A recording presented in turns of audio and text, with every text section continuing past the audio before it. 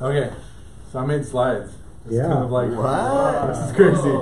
What is I know, going on crazy. First here? time ever, huh? Uh, pretty much. I, I'm new at this whole keynote thing, so we'll see how this goes. um, but um, yeah, so uh, over the years, I've been working with WordPress for over 10 years, probably at this point. Um, and uh, I've come to know through experience and through friends that security is a very important part of, of development practices. Um, first, um, this guy, um, Mr. Tony Lifehack Perez, is uh, he works for Sucuri Security, um, Dre's partner over there, and um, he has shown me with his hands and with just his computer what um, what he can do to you, and and he said something kind of like this at one point. Uh, bro, if you don't escape your data, you'll never escape the hurt I'm gonna put on you. Some, something like that. Wow. Um, That was so an amazing impression. Tony, that was Yeah. that's Tony, but it was more like Cuban coffee, like fired up. It was That sounds about right. it's crazy. Yeah. So yeah, yeah. So anyway, um, if you've never met Tony, he will scare you straight. Um, he will make you do all the developer things you need to do.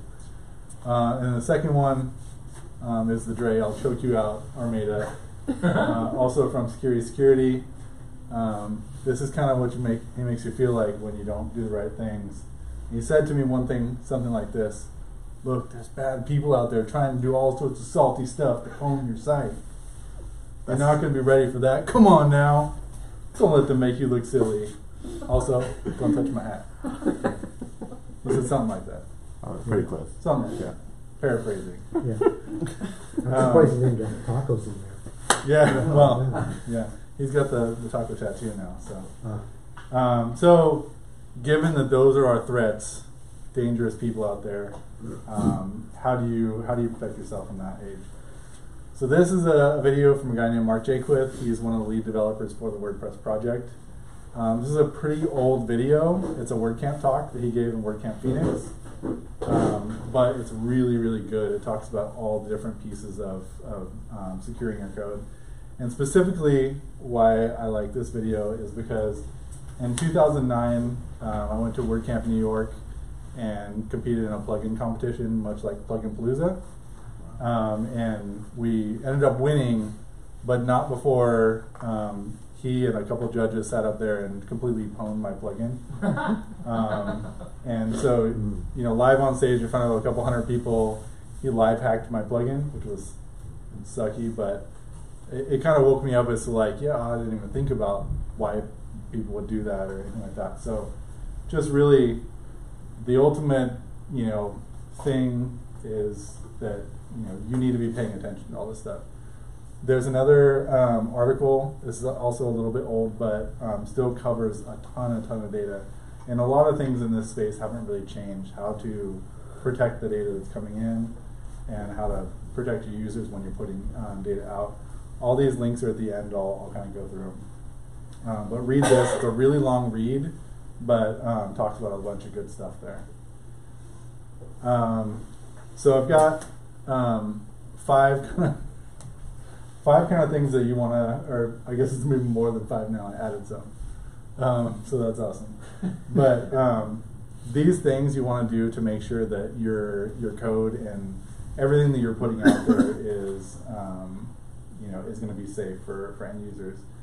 So the first one is keeping your development environment clean. Right. This this talks about your computer wherever you do your development, keeping it clean. Um, second is using core code versus your code whenever possible. And then the rest of these are things that WordPress helps you do. Um, there's functionality within WordPress to help you do these. As long as you're doing them, you're going to be protecting, you know, various uh, vulnerabilities that could be within web programming. So validating refers, validating data inputs, sanitizing them, you know, getting rid of all bad data, things like that. And then when you're printing stuff back out to the browser, you're escaping it so that even if you happen to have bad data, it's not going to do anything bad. Before you move on, Yes. can you back up and explain a why for item number two? because um, number two uh, is that WordPress core code has been battle tested over the course of more than 10 years at this point. And there are things that we have learned, security teams have learned that you may not be thinking of as a developer, right? And so there is an entire security team in the WordPress space that, you know, tests these things over and over and over. And, you know, millions of websites out there that are, are running the code and being checked against for security vulnerabilities, things like that. So those, those um, first of all, are more security hardened, but in cases where you're deploying to multiple environments, say you're a plugin developer, core code is built to run on more systems than you're probably thinking about, and I'll show some examples of, of that there. Other- Yeah, that's, that's the reason why. Uh, I've met lots of people that think they're really good with this kind of stuff. Yeah, but absolutely. They're not as good as the brain trust. And like you said, there are dozens more people that look at that code than Yeah. built your code. So Absolutely. use, use this stuff. And, and ultimately, there's there's oftentimes where I've found where I write something, I'm like, you know what? How can this not be in core? I'm writing it, and then I'll find the function somewhere in core. Yeah. It's not documented anywhere, but sure enough, like there's a there's a function for it. Yeah. You know, it just may be a knowledge thing. So there's you know resources for that as well. Um, so the first one, um, keeping your development environment clean, really, it, it can be any platform, Mac, PC, Linux, whatever it is. There's there's issues with all three. You're not safe from viruses um, wherever you are, even if you're on a Mac. Be protected. Uh, if you're on Linux, make sure you're patching your Linux um, installation because you're mostly responsible for that kind of thing. And if you're on a PC, just just assume that you're already compromised, right? Um, and and as soon as you can get past the it's not me, it's somebody else, like you're not going to be deploying code that has a Trojan that's sitting on your on your laptop. Um, my favorite thing in this space is called Kaspersky Antivirus. Um, I use it. I learned it from Dre and Tony. Both of them use it on their, their systems, so I, I trust it. Um, it's always been really strong. Um, so if, if you don't have an antivirus, even on a Mac, I would recommend it. It's it sits there running in the background and just it's peace of mind. Right? What's that? The other one's good on the Mac is Malwarebytes. Malwarebytes. Yeah. Cool. You mean just like on the computer you're working on, right? Not, Absolutely. okay. Yeah, yeah. Okay, that's what I thought. Yeah, I mean, server side is a whole other thing, right? There, there should be some sort of antivirus running on the server, but Yeah. Hopefully your host is taking care of that for you, um, and you don't have to worry about that end of things. So WordPress core code versus your code. So I think this is a, a really good example that I've seen a number of times in developing other people's plugins, like working on things, is you're trying to integrate with another service, and so you know a lot of a lot of the basic ways in PHP to do that are with curl. Um, curl is a library that you can use to request a remote resource, pull data back from it. Say you're using an API, something like that. All this all this data that you're using might not work. There may be a, a server that doesn't have curl, and your code's not going to run. Okay, so that's that's a problem, obviously. Um, in in this particular case, um, I'm using on the WordPress side WP Remote Get, which will do the same thing. It actually will check to see if curl is available and use it if possible.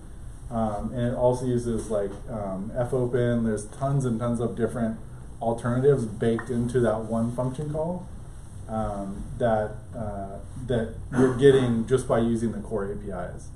So there are things built into core these different APIs that that are doing work that you shouldn't have to re- reproduce. Um, does that make sense? Good. Um, so getting into when you're developing your code, you should trust nothing. Right? I mean, as a developer, you want to be skeptical of any piece of data that you get, whether it's a string of text or anything. Escape it, sanitize it, because you never know when that file is going to be compromised and someone's going to put a base64 encoded string into your string, and then the entire system is going to get hosed. Okay, so trust nothing. Um, imagine that everything is insecure. Um, the first set of this is uh, cross-site request forgery. So this is known when um, this is what happens when uh, someone is giving you a link that um, you can click on and it's going to go do an action on your site, but they're making you think that it's a safe thing to do, but in fact it's something else.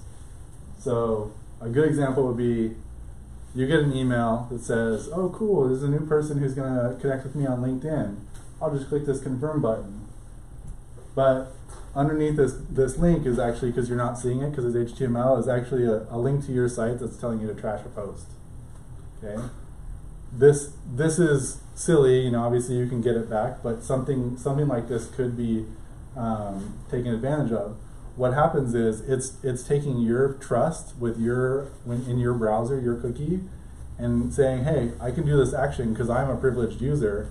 So if I click on that link that someone's faked me into clicking on, then they can get me to do something on my site that they wouldn't be able to do without me. Right? It's, it's nothing that you would ever see unless like anytime I get an email like this, I hover over the link just to make sure, okay, good, it's a cool it's a cool URL. Right? So again, you're just blindly trusting because it has LinkedIn at the top, it's a LinkedIn email. Or a PayPal e- email. How many times have you gotten a fake PayPal email and you're like, this looks legit, but it's not. Bank of America. Right? They're, they're so good. Yeah. They're like perfect. It's it's yeah, and they update them all the time. You're like, is this legit? Is it not? You know, I don't know. So don't trust links that you click on. Don't. I mean, especially if it's a cloak link, like a Twitter short link or a Bitly or anything like that. Like you should on Bitly, you should turn on the show me the URL before going to the site so that you can preview what you're doing so you don't get hosed. Um, so one of the ways that WordPress um, actually takes care of this is that you can set up nonces for all the actions of your code. This nonce is a number used once, it's randomly generated within WordPress. It's based on time, it's based on your user ID, your permissions, all the things that WordPress does to protect you. It allows you to, the first one here, WP nonce URL, you can use that to, to create a nonce, which is a, a, a new um, parameter at the end of the URL. It will add it to the URL. So in the previous slide, if you had this action but there was no nonce and you're checking for your nonce in your code, this function wouldn't run even if they linked you to this URL. Um, you can do basically three different kinds of um, creating nonces. One is the URL. One will actually um, generate just the value. So if you want to put it in a hidden input or you want to attach to a URL, whatever you want to do, you can create it that way, get the value. And the last one will actually generate a, um, a referrer. So it tells you where you're coming from, as well as um, the nonce itself as a hidden element. So it'll create the HTML for you. So you can use that um, in a form element. Just say WP create nonce, and it will output the code for you. You might be getting into it, but do you have any examples of uh, use cases for the nonce? Um, anytime you're submitting a form, anytime you're clicking an action link, really anytime that you need to verify that this person clicked it within a period of time and they're privileged to do it, that's when you want to really create it, uh, a nonce anytime you're submitting a form. So form submission is generally a red flag. Form submission Yeah. always have it. Anytime you're sending data to the server. Yes. Uh, I also do that for Ajax calls. Yep. Ajax calls too, yeah. Why? Yeah. Because so I can verify that that again- Ajax call is generated by me for your logged in session, because imagine not by him for my logged in session. Right. Yeah. I don't- I don't imagine. trust Um, imagine there's a link that, that is like I'm able to find out what the Ajax URL is to change some data, and there's nothing that is protecting that besides that that cookie. If it's not tied back to me as a user and I'm the one who's logged in doing it, it, it will break if I'm using a nonce. It will go through if I'm not checking against nonces because it's a valid action. Make sense? But if I'm doing just regular, I don't want to say regular, but um, you mentioned Ajax. If I'm just maybe hitting the REST API, just Mhm. grabbing data, that's not a nonce thing. Well, I'm just pulling data. When you're pulling data, it's not as bad, but there are some uh, gets, some pulls of data that you might want to have protected so that somebody who's not logged in won't be able to access that information. So that'd be another use case for a nonce. For, Right. for example, Without you- any sort of user data, you would Yeah. want to have nonces and things like that to protect Yeah. against that. But without it, if you're at a Starbucks or something, and I'm watching your data Mhm. over an HTTP conversation, and I can see the, the URL that you're going to, all that information on how to delete that post Yep. is in the clear going from your computer to the Wi-Fi at Starbucks. It's fun. I can replay that. Right. Part of the nonce is a time stamp. So it's, that nonce is only good for 15 minutes. So if I try to replay that tomorrow, it's going to fail. I think nonces are good for 12 hours, but they are tied back to the user. So again, in the same scenario, Yeah. replaying that same URL, even with the nonce on it, because that person's not logged in, will still break because they're not logged in. But the other thing is, as he said, it's, a nonce is an acronym. It's numbered used once. Mm-hmm. Once you use that nonce, Right. it's no good anymore. Yeah. So even if you replay it one second later, it was already used. It's not good anymore. So that's why nonces are really good. Mm-hmm. If if you were over a secure connection at Starbucks, or is there such a thing?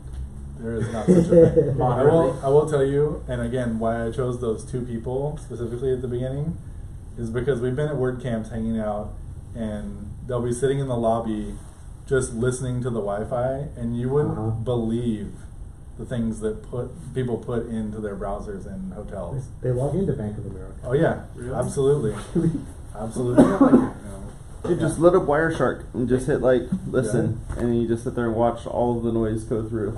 Yeah. and it's like, oh look, here's says- Facebook thing, and here's Here's this if thing. it's HTTPS that like it's okay. Yeah, I mean, Well, uh, again, You could be a man in the middle though. yeah, Yeah. I, I can set up a, a Wi-Fi Right. that looks like it's Starbucks. Well, I've seen that. Yeah. The So pineapple or whatever call it. Yeah. Right. yeah. Uh, so yeah, bad things can happen. yeah.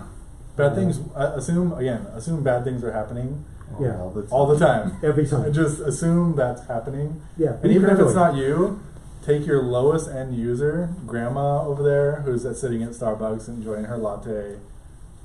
She could easily be compromised in that same scenario where you're not. So protect your end users as much as you would be protecting yourself. I know. Be afraid. Yeah. It's like you have to be wired, but like you have to be like secure space too. Yes. It's Yeah. Like, so it's plugged in, but then there's no one around you. With Right. the cone of silence. Yeah. Yeah. Like a little dog thing, right? Wow. Right. But don't don't feel bad because even if you're wired, you're still not protected. I, I work at. Rock, so like it's a co-working space. So it's like Right. you're all sharing the same network. Yeah. Yes. Get yourself one of those little Wi-Fi, portable Wi-Fi things, and use that. Yeah. Ugh. So much data. So again, um, step $9,000 one. bill. Step one of this is generating a nonce.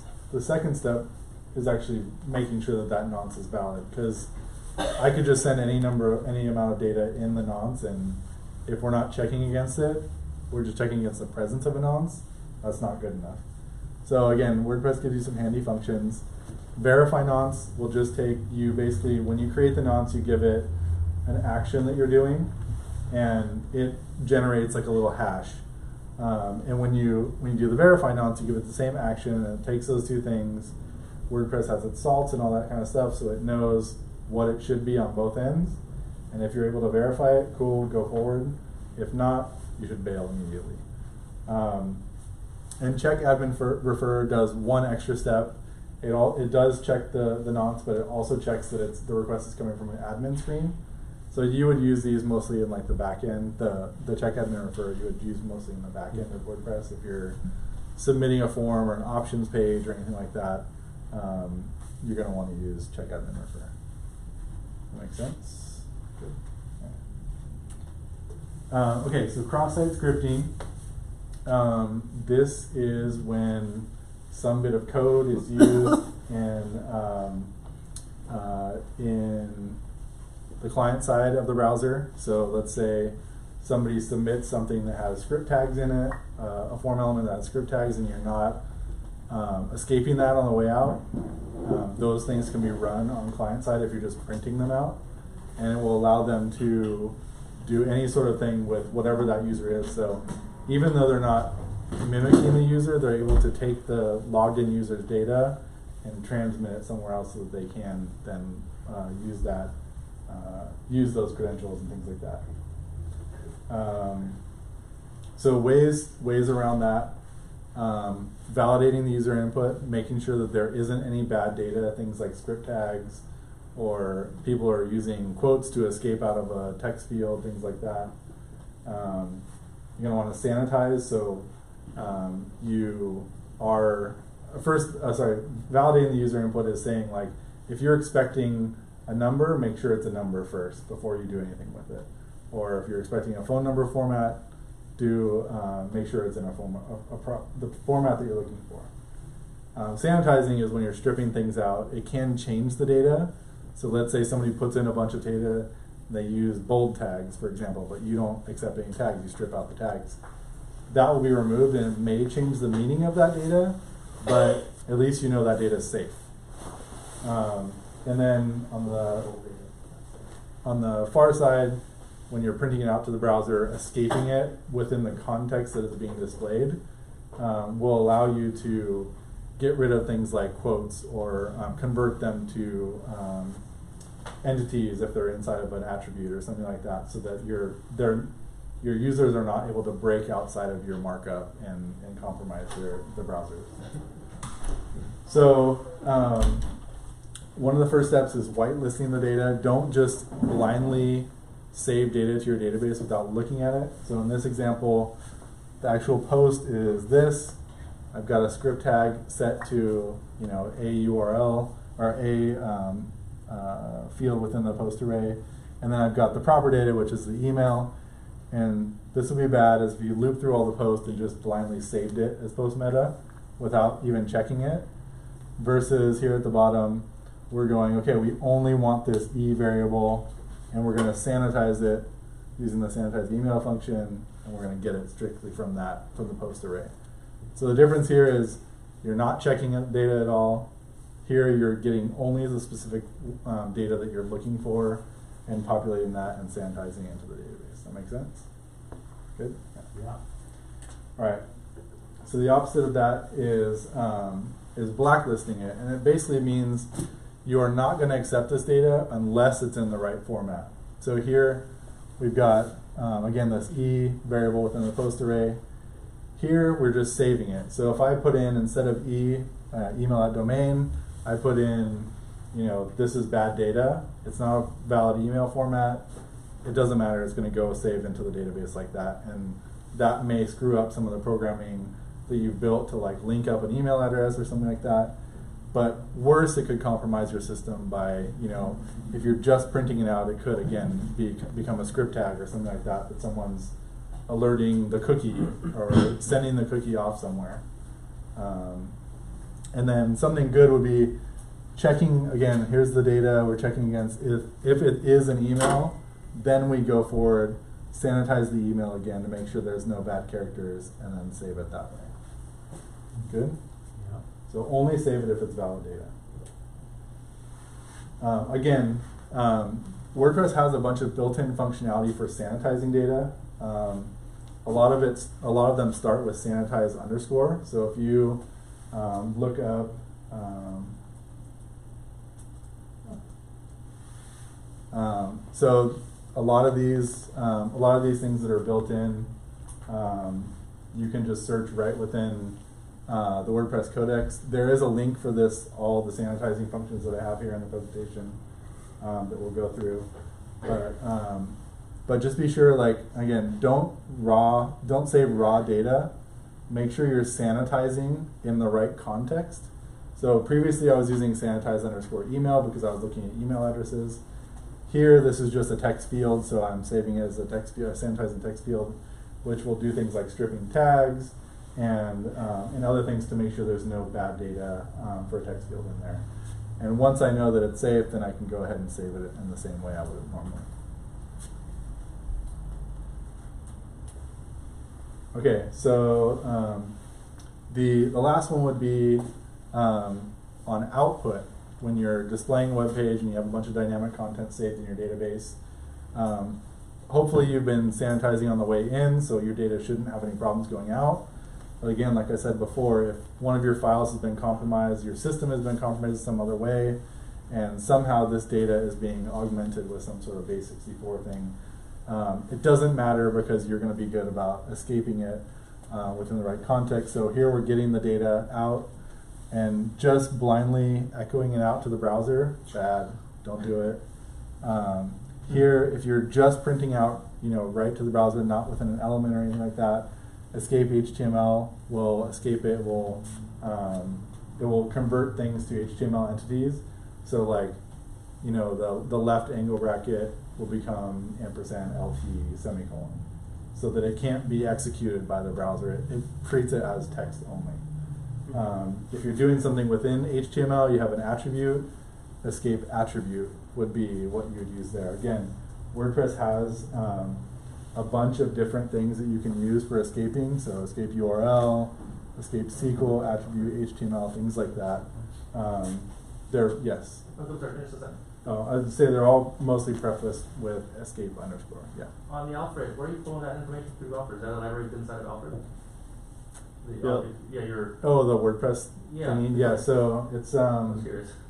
I use um, Dash for documentation. Okay. and this is an integration with Word, the WordPress Dash library and And, uh, Alfred. okay, thank you. It's next level. Next level, baby.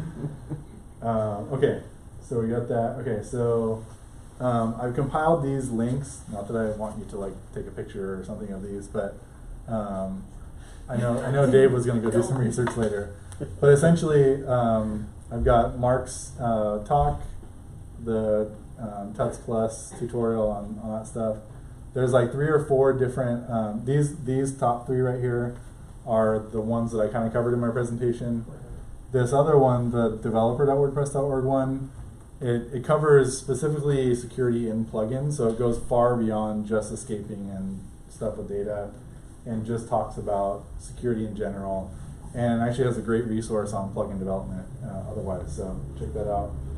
Um, WordPress.org has a security page, um, which I think I feel like is new. I don't think I've seen it um, in a while, but um, they put a bunch of things about how it's been battle tested, how it's on the top ten best CMS for OSEC. Um, you know, just basically how they go about breaking it so that they know it's it's very secure. Um, so the the um, I would definitely check that page out. Just again, so if you're selling WordPress, this is a great page to kind of like calm people's fears about oh, WordPress is like hacked up or whatever. Um, I'll I'll post these slides on the meetup too, so that you guys have all access to that. Most of the time when you hear about WordPress security being compromised, it's a plugin that isn't doing this stuff. Right. It's not WordPress for it. Yeah. So it's somebody else Right. not dotting all the I's and doing their homework. Yeah, and and WordPress, the security team does. Um, you you may not know this, but if you have a plugin that's installed from WordPress.org, and a major catastrophic like security vulnerability is found in a plugin, they actually have the power to push an update to every WordPress site that's using it if it's that bad. Um, there was, I, I want to say there was a security vulnerability in Yoast SEO a while back that warranted that because so many people use that plugin Yeah. that it was like this could take down almost every WordPress website. So they pushed they pushed an update to it, then went back and helped Yoast fix it. Um, and it happened very quickly, but no one had to click update this plugin. It just happened. Um, so again, it's it's not a safeguard. Like you're not always under that protection, but if it's something that is is very very um, you know widespread that could really affect a lot of people, Yeah. um, they can do that if they need to. Same Yeah. thing with WordPress updates as well. There was another incident, I think about two, two and a half years ago, where several plugins had a similar problem, a vulnerability, and they updated half a dozen plugins with millions of users. I think it happened with TimThumb actually. No, it's not TimThumb. It No. may have happened with TimThumb. I think The it- that one was I'm the thinking of- library. Yeah, the one I'm thinking of was not TimThumb. Okay. It was a cross-site scripting vulnerability. Okay. MailPoet? No, Okay.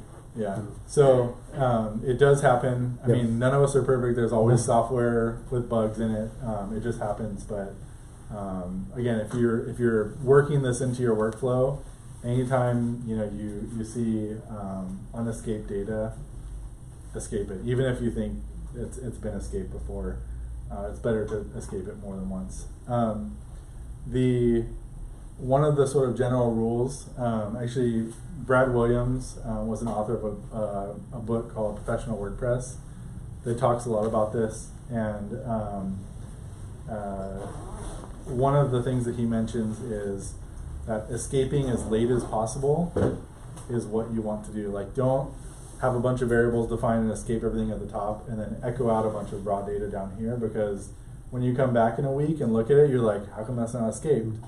You're gonna escape it again. So Or something could happen in between. Right, exactly. Yeah, and so escape it as late, like when you're printing it out is when you should be escaping it. In the echo. Right, exactly. Um, so again, um, you know, adding these things to your code is great. Make them happen as late as possible. Sanitize as early as possible. Like, you know, just just make sure that your data is clean, and when it's going out, it's not going to harm anybody by um, putting it out there. Um, and then the two, according to Wikipedia's that I did, um, are are in the, the links there as well.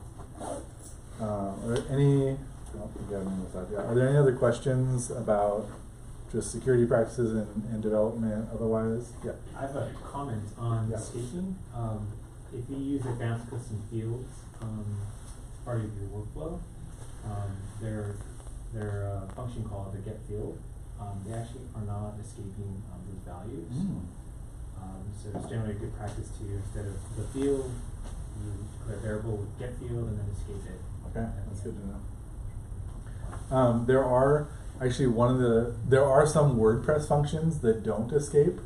Um, I think like things like site URL and get permalink. Some of those don't aren't actually escaped within WordPress core. Description, Yeah. So some of the like anything that you're getting from the database, you should you should escape it. Like that's that's general rule of thumb. Like don't trust any data that's coming from the database. Like again, even if you write like echo this string of text, escape it. Like just be safe um, because it's it, it, it can be something that you're not even paying attention to that gets you in trouble. Um, and and you're better off not having to deal with that than you know having to try to figure out and track that stuff down and protect your users that way. Anything else? Cool.